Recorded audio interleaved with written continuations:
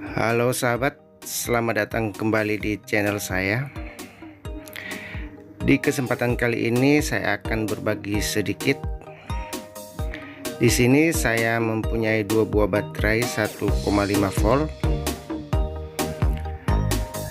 Saya akan sharing yaitu membedakan atau perbedaan antara rangkaian paralel dan rangkaian seri pada baterai.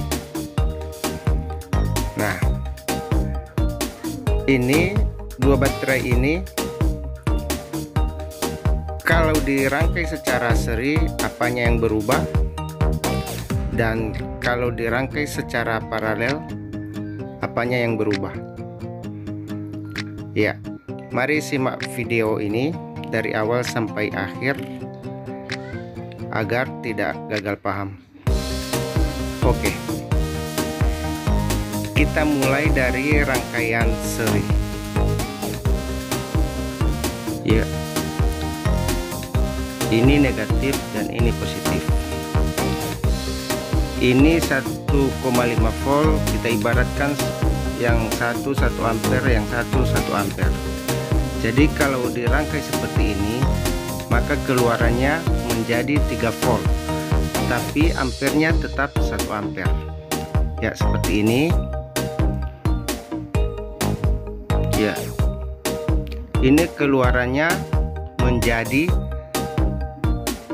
3 volt dan ampernya tetap 1 ampere. Ya seperti ini.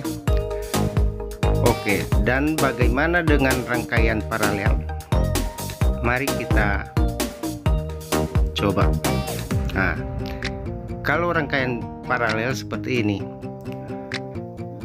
positif ketemu positif negatif ketemu negatif.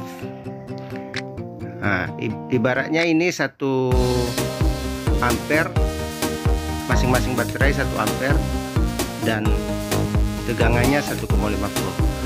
Maka yang dihasilkan tegangannya tetap 1,5 volt tapi ampernya menjadi 2 ampere. Itulah perbedaannya rangkaian paralel dan rangkaian seri. Kalau rangkaian seri voltnya bertambah dan ampernya tetap. Kalau rangkaian paralel voltnya tetap tapi ampernya bertambah. Jadi kalau untuk rangkaiannya kawan-kawan bisa sesuaikan sesuai kebutuhan. Kalau kita membutuhkan 3 volt kita rangkai secara seri ya seperti ini. Tapi kalau yang kita butuhkan 1,5 volt kita rangkai seperti ini. Dan ampernya akan bertambah otomatis akan lebih tahan lama. Ya demikian sharing saya kali ini. Semoga bermanfaat dan Terima kasih.